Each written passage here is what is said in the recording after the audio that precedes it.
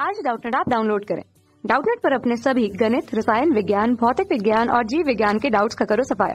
बस प्रश्न की फ़ोटो खींचो, एक ही प्रश्न को क्रॉप करो और तुरंत वीडियो सोल्यूशन पाओ।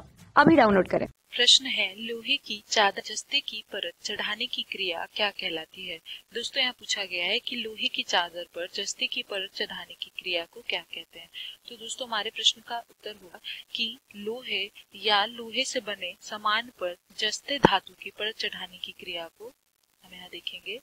लोहा या लोहा से बने सामान पर, लोहा से बने सामान पर समानों पर जिंक धातु या जस्ते धातु की, जस्ते धातु की परत चढ़ाने की क्रिया, परत चढ़ाने की क्रिया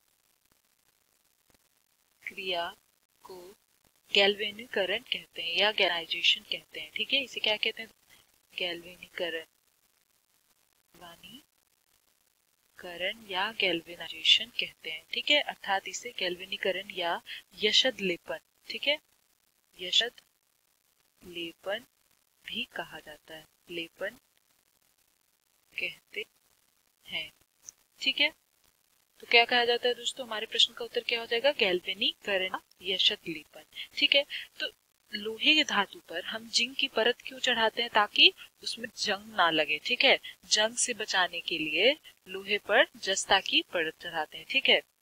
जंग लगने से बचाने के लिए, बचाने के लिए एफी यानी का धातु पर धातु पर जिंक यानी कि जस्ता की परत चढ़ाते हैं।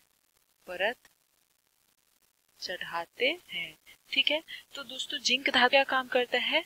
जिंक परत लोहे से बने सामान को हवा में उपस्थित पानी तथा ऑक्सीजन के संपर्क में आने से रोकता है, जिससे उन्हें जंग से बचाया जाता है अर्थात उनमें जंग नहीं लगता है। क्योंकि पानी की पाइपों में उपयोग किए जाने वाले लोहे के पाइप को गैल्वेनाइज किया जाता है ताकि उसमें जिंक से सुरक्षा किया जा सके उनका। ठीक है? यानी कि उन्हें जंग लगने से सुरक्षा किया जा सके उनका।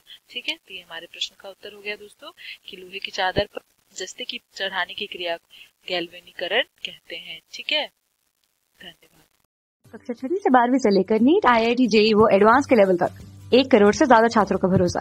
आज ही डाउनलोड करें डाउट नेट ऐप या व्हाट्सएप करें अपने सारे डाउट्स आठ चार सौ चार सौ चार सौ पर।